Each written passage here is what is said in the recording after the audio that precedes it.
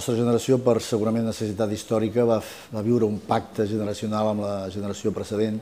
Era la generació que, en paraules d'Espriu, ens havia salvat els mots i, per tant, sempre hi ha hagut una re relació de cordialitat i d'amistat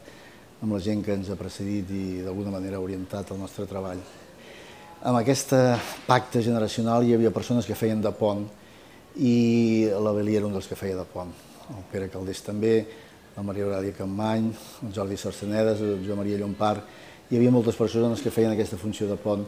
que ell va fer i que ens va costar i que ens va fer conèixer de prop. Jo recordo un acte de generositat molt gran per part seva, ell va ser un dels eh, estimuladors de la represa del Centre Català del PEN i en un moment en què s'havia de produir, a final dels 70, un canvi en la Junta, vam parlar de la possibilitat que jo el succeís amb ell com a secretari i fos el secretari del Centre Català del PEN però jo no tenia cap llibre publicat. I les bases eren molt estrictes, de que per ser escriptor havies de documentar-ho amb un contracte d'edició que jo no tenia. Però quan jo li vaig plantejar aquest dubte, ell em va dir que, Àlex, qui pot dubtar del teu treball com a crític? Per tant, jo ho recordo com unes paraules, una,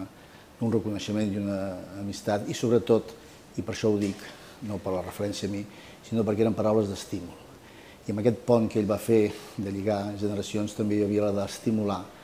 el treball de la gent que venia darrere seu